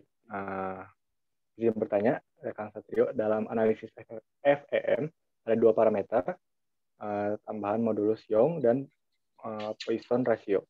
Kalau modulus Young, kan untuk deformasi masa batuannya, nah Poisson ratio itu sebenarnya apa ya, Bang? Dan efeknya seperti apa terhadap analisis stabilitas lereng? Seperti itu, Kang. Oke, bentar saya cek. Uh... Oke, makasih ya dari Hajrol. Jadi sebetulnya ketika kita berbicara finite element, nah di situ kan kalau kita bedah lagi ya teman-teman, mat persamaan di dalam finite element itu menggunakan uh, apa namanya per, menggunakan persamaan deformasi ya. Jadi konsep awalnya itu adalah deformasi ketika deformasi, yang namanya deformasi itu kita perlu yang namanya parameter elastisitas dari suatu batuan atau tanah ya, atau material lah, apa pun itu analisis finite element, tapi di situ perlu namanya parameter elastisitas. Nah, parameter elastisitas itu ya ada dua. Poisson ratio dan uh, modulus elastisitas. Jadi memang kedua parameter itu yang digunakan untuk analisis frame ya. Jadi sih kurang lebih kayak gitu ya Hajrol. Jadi fungsinya ya eh jadi uh, apa Poisson ratio dan uh, modulus yang itu ya parameter elastisitas dari material yang digunakan untuk untuk frame. Gitu. Terus tadi ada satu lagi ya, kurang lebih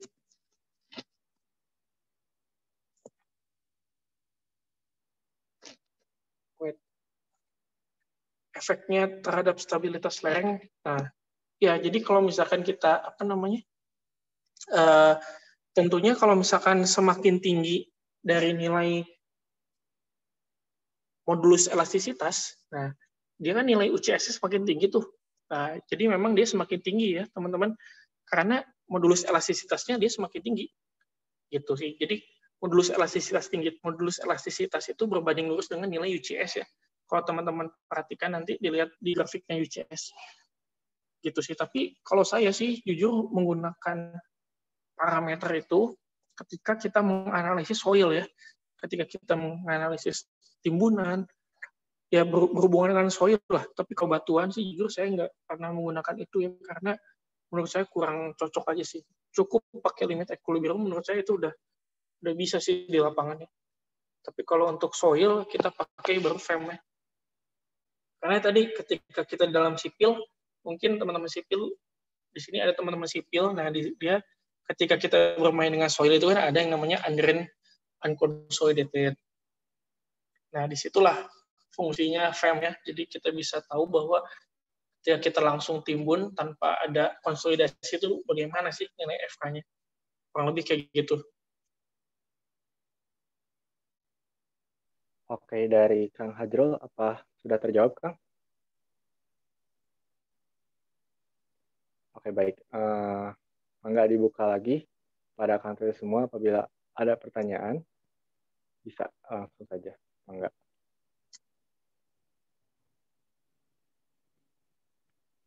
Udah dipersilahkan belum? Maaf Ridwan. Oke, dari Teh Siti Hodijah ya? Enggak, Teh? Iya. Yeah. Oke, okay. Nah, terima kasih untuk waktunya. Punten Kang mau bertanya, uh, mungkin ini lebih ke basic sih. Uh, mungkin kalau misalkan tadi pas uh, saya lihat di beberapa desain lereng itu uh, bidang gelincirnya tuh berbeda-beda gitu. Uh, sebenarnya saya juga pernah baca sih di beberapa literatur ada gitu untuk menentukan bidang gelincir bisa ditentukan oleh batuannya ataupun uh, apa kondisi geologi di daerah tersebutnya gitu. Nah, eh, kan ada yang misalkan kita nentuin bidang gelincirnya di muka lerengnya, atau kita nariknya dari uh, sampai itunya, atau bisa ke base-nya gitu. Nah, tapi uh, apa ya, itu juga mempengaruhi uh, nilai FK di akhirnya gitu. Nah, mungkin pengalaman Akang gitu, sebetulnya yang paling tepat itu kita ngambil bidang gelincir tuh uh, bagaimana gitu sehingga uh, overall slope-nya tuh bisa kehitung FK-nya kayak gitu. Nah terus uh, pertanyaan kedua, hmm, mohon maaf ya Kang sebelumnya izin menyebutkan merek software. Aku nggak tahu, eh saya nggak tahu akan menggunakan software apa. Uh, tapi saya uh, biasanya pakai slide kalau enggak slope W gitu. Nah kalau di slope W itu slope limit itu kan auto ya Kang uh, tempatnya. Belum nyoba sih apakah bisa dipindah-pindah atau gimana. Nah, tapi kalau misalkan di slide itu kita uh, harus uh, kita tuh harus uh, memindahkan slope limitnya secara manual gitu.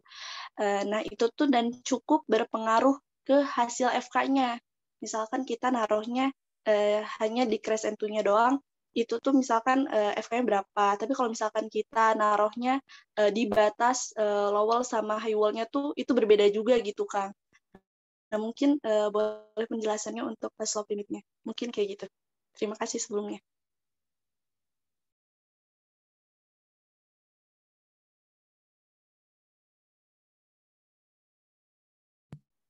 Oke, Mangga dari Kang Satrio mungkin boleh dijawab, Kang? Oke, makasih ya. Uh, Mbak Hodijah ya tadi ya? Hodijah kah? Betul ya? Ya. Dari ya, Hodijah. Betul saya coba ingat dulu ya pertanyaan pertama tadi terkait uh, posisi ini ya bidang gelincir ya. Apakah lebih baik di crash crash ketu apa atau misalkan dia uh, kena di bawah gitu ya? Atau gimana gitu kan? Yang yang mana yang benar gitu ya? Itu enggak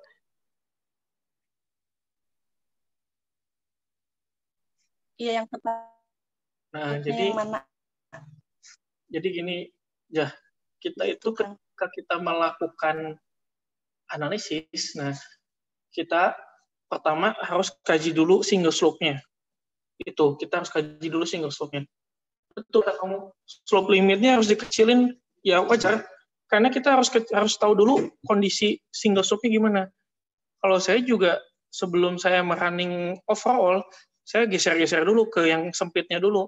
Saya bikin single slope-nya dulu aman nggak ini karena misalkan ketika kita bikin spek disposal di 45 derajat itu udah jelas nggak akan bisa gitu. Jadi ketika single slope-nya aman nggak? Oh single slope-nya nggak aman ya udah. Saya akan save ya, saya akan bikin satu save, akan saya akan save satu itu, terus yaudah saya akan view kan khusus untuk ini loh single shopnya nggak aman. Itu terus yang kedua, terus terkait posisi longsor itu ya tadi ya itu nggak ada yang benar. Ya bisa itu di crash bisa itu di mana bisa itu di crash ya crash ke tunya banget bisa itu dari crash ke bawahnya banget atau bisa aja dia nggak sampai bawah. Nah, apa sih yang menyebabkan dia kayak gitu? Ya, pertama jelas material ya. Kalau misalkan nih, ketika katakanlah saya punya base-nya keras ya, batuan. Terus saya bikin timbunan di atasnya. Langsung uh, soil ya, soil OB, Westdam, saya simpan, simpan di atasnya. Logikanya harusnya bidang gelincirnya itu dia gak akan sampai bawah. Kenapa? Karena bawah itu udah udah batuan pasti dia maksimum maksimum pun dia akan sampai di tunya dia. Tapi beda kalau misalkan saya punya base-nya adalah lumpur. Jadi misalkan saya punya rawa-rawa, saya akan nimbun disposal di rawa. Base-nya adalah lumpur rawa. Nah, terus saya akan timbun di situ. Timbun. Pasti bidang gelincirnya dia sampai bawah. Kenapa? Karena dia akan menyentuh. Karena ya tadi base-nya dia adalah apa namanya? lembek gitu. Jadi kalau misalkan disebut apa namanya? yang benar yang mana kita harus cek dulu materialnya ya fondasinya dia kuatnya kok fondasinya kuat ya harusnya dia nggak sampai akan sampai bawah gitu terus yang kedua ya kita juga harus lihat juga ya bidang tadi selain fondasinya kita harus lihat juga base-nya itu dia kayak gimana kalau dia miring misalkan saya bikin disposal di atas low wall karena base-nya miring ya seharusnya dia bidang gelincirnya nggak mungkin sirkular dong. Pasti dia adalah kalau kita kalau bahasa ininya apa ya planar planar tapi planar di soil gitu loh bukan planar di batuan ya. Karena apa ya? Karena dia uh, ini karena dia dikontrol oleh si bidang si bidang miring itu. Block search ya kalau kita dalam analisis itu. Jadi memang intinya sih tadi bahwa tergantung base-nya apa terus tergantung kemiringan base-nya ya. Kalau misalnya miring ya kita harus pakai block search kita nggak bisa pakai sirkular karena itu nggak nggak akan relevan ya. kita harus pakai non sirkular kalau misalkan base-nya adalah miring. Terus yang kedua uh, terkait slope limit. Nah tadi juga saya sempat singgung kalau misalkan slope limit itu yang benar adalah menurut saya ya adalah FK yang terendah. Jadi ketika kamu melakukan analisis, nah kamu emang harus berkreasi, kamu harus geser-geser cari di mana yang dia tuh tempat slope limit yang menghasilkan nilai FK terendah. Nah, itu yang benar. Jadi kalau kamu simpan di jauh jauh jauh jauhan FK-nya 1.5, tapi ketika kamu geser semakin sempit dan turun jadi 1.1, nah itu yang paling benar itu. Kurang lebih kayak gitu, Kodija. Oke, Kang. Sudah paham. Terima kasih, Kang, penjelasannya. Oke, baik. Terima kasih atas pertanyaannya dari Teh Khadijah dan atas jawabannya dari Kang Satrio. Uh, akan terus semua, mangga dibuka satu pertanyaan terakhir sebelum kita uh, masuk ke sesi selanjutnya. Mangga.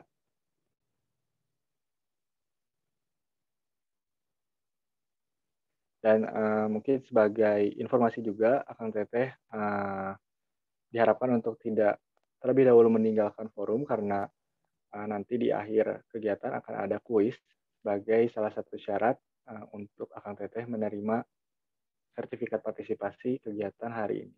gitu mungkin ya enggak uh, dikembalikan lagi Kang Teteh apabila ada pertanyaan satu pertanyaan terakhir boleh disampaikan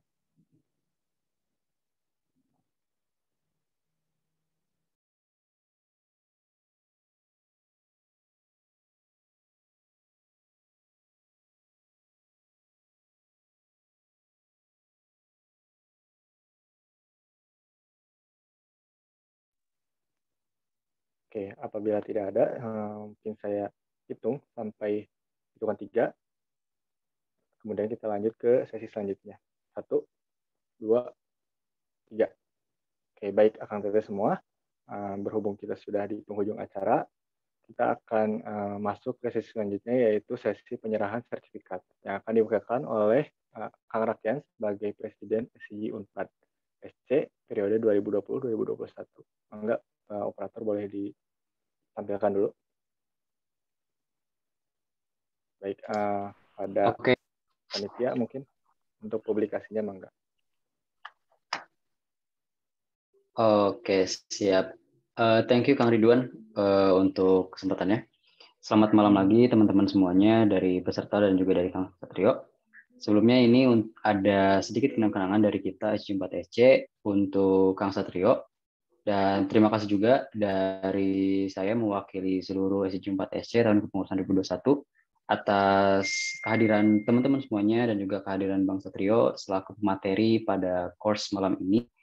Uh, ini kan ada kenang-kenangan dari berupa sertifikat. Mangga kepada Kang Satrio, silakan Kang diterima. Oke, siap. Makasih banyak ya teman-teman sekalian. Mungkin sedikit pesan dari saya, ya bukan pesan lah ya, saya sedikit cerita kalau misalnya saya mohon maaf nih, banyak sekali tadi miskomnya dari saya, baik itu dari terutama dari sinyal ya, sinyal dan lain-lain. Tapi saya coba berikan yang terbaik ya, apa yang saya punya. Saya coba berikan untuk SEG juga buat himpunan. Semoga bisa bermanfaat ya teman-teman sekalian. Baik, terima kasih juga Kang Satrio. Uh, mungkin buat teman-teman juga mohon maaf atas segala kendalanya tadi.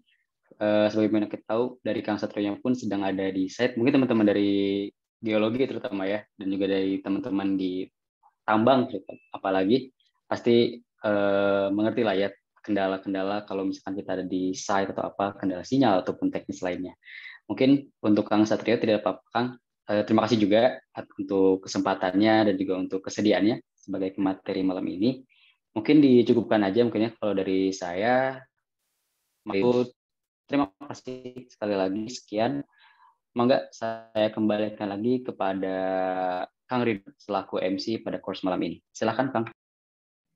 Baik, hatur nuhun Kang Rakyat. Uh, sekali lagi saya ucapkan juga terima kasih pada Kang Satrio atas kesediaan waktunya untuk berbagi ilmu bersama Akang Teteh semua yang menghadiri kegiatan hari ini.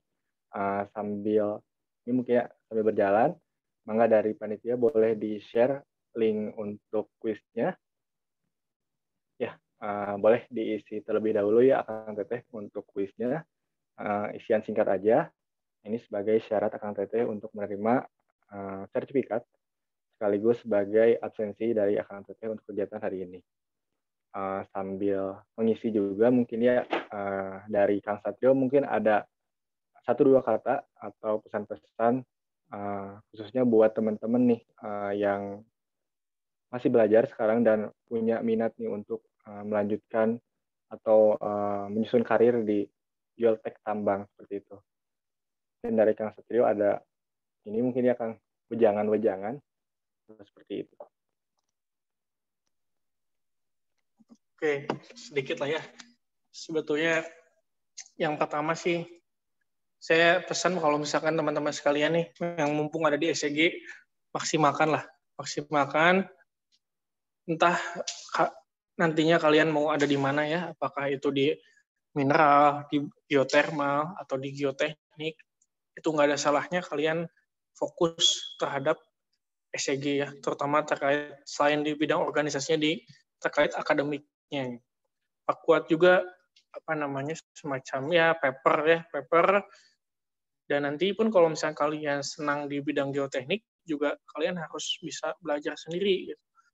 Karena kalau ketika kita mem, apa, mengandalkan kampus mungkin nggak uh, bisa 100%, nah kita harus bisa bersaing gitu dengan teman-teman tambang dan teman-teman sipil. Kurang lebih gitu aja sih dari saya. Dan tetap semangat aja buat nanti kalau misalkan udah mulai kerja gitu ya, mulai kerja bahwa memang ya kondisinya pun akan berbeda gitu ya. Mungkin ketika di himpunan kita diajarin ya tegar gitu kan menghadapi cobaan-cobaan gitu. Dan emang benar sih ketika di dunia kerja pun itu terasa. Kalau misalkan semua tuh serba serba ekstrim lah gitu. Gitu kondisi maupun apa namanya uh, antar sesama kerjaan gitu ya. Dan di situ mungkin bisa jadi pertimbangan juga buat teman-teman uh, persiapkan diri dari sekarang. Itu aja sih sedikit dari saya. Makasih juga ya Seg ya udah mau undang saya. Mungkin uh, bisa nih untuk alumni-alumni yang lain bisa diundang-undang juga ada Ternanda kan yang dari Partabe atau yang ya nanti coba di searching lah yang di mineral-mineral siapa, yang di geothermal siapa, geoteknik siapa gitu. Sebenarnya geoteknik itu nggak utama ya, tapi yang utama kan mineral sama geothermal lah ya. Ini kita sebagai ini aja bahwa oh ternyata di tambang itu ada geoteknik gitu. Itu aja paling. Baik, hatur nuhun Kang atas uh, pesan-pesannya. Semoga apa yang sudah disampaikan dari Kang Satrio hari ini bisa bermanfaat bagi kita semua.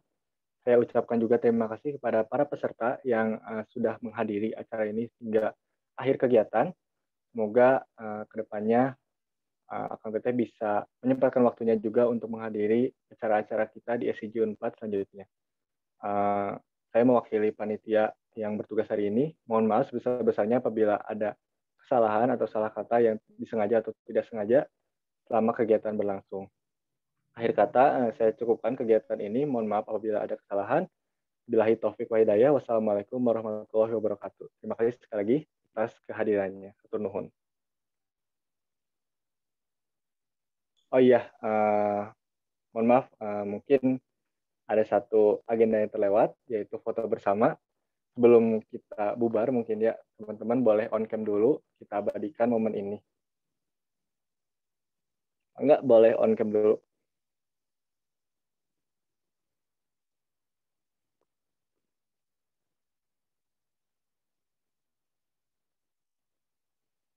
Dan uh, dari panitia ya dokumentasi boleh dipandu untuk dokumentasinya. Oke, buat foto bersama mungkin bisa dari saya aja ya. Mungkin buat Akang Teteh nih yang belum on cam, boleh on cam dulu ya.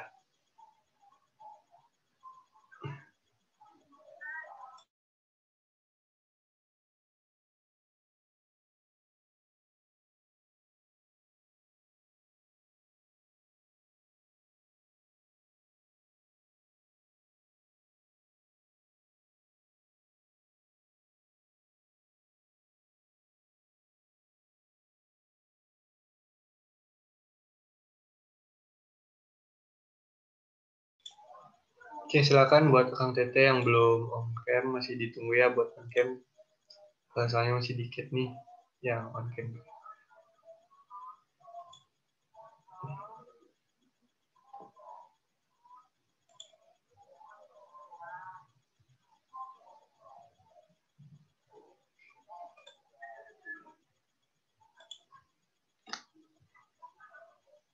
Oke, mungkin uh, ada kendala ya sinyal teknis dari Kang Tete yang belum bisa on cam.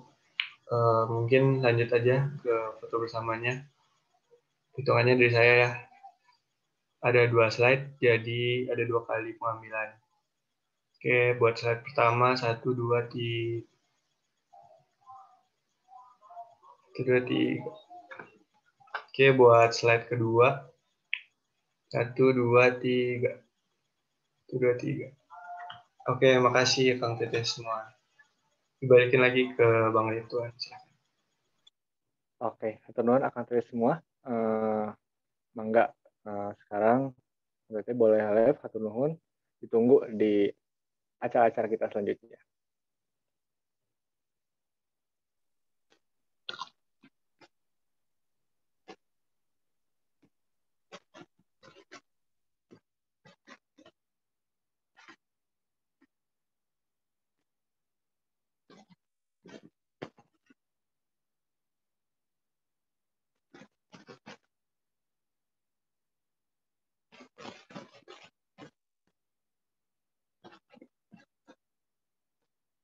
Wih, Hajrul, Hajrul.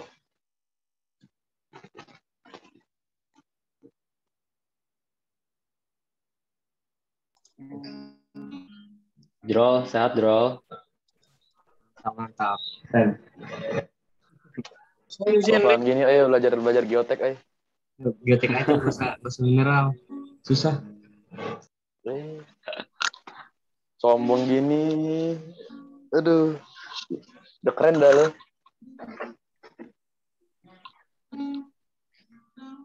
Oh ya, Bang Satrio atur nun pisan, Bang. Buat ilmunya. Semoga sehat selalu ya, Kang.